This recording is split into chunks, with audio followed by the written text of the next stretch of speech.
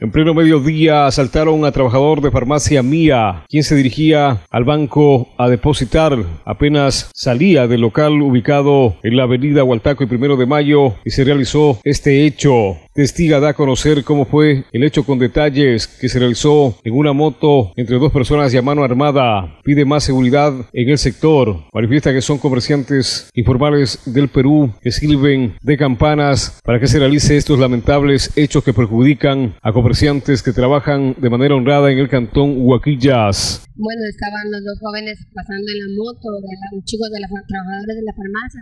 En eso se acercan dos caballeros y tratan de proteger para, para quitarle la plata. El uno de ellos ya luego de, verle, de haber protegido le quita el dinero, corre y sale corriendo a la moto que estaba en la parte de la esquina del parque y el otro estuvo con una pistola apuntándole al caballero para que no, se moviera y no, no vaya a llamar a la policía. Sí, una funda de, con el logo de la farmacia donde llevaban el dinero pedimos más seguridad, que la policía, más que sea, se, esté dando más vueltas por aquí porque es, demasiado peligroso.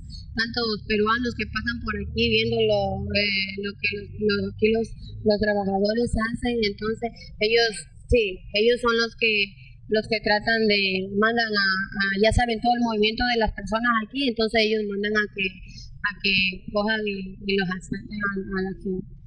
Por eso pedimos, sí, con una pistola. Y por eso pedimos más seguridad para, para todos los comerciantes de aquí del sector. Sí, con me moría de los nervios porque pensaba que iban a disparar al El prejuicio asciende a 7 mil dólares, según los datos del empleado de la farmacia Mía de la ciudad de la 1 de mayo, Mauro López Tedaro.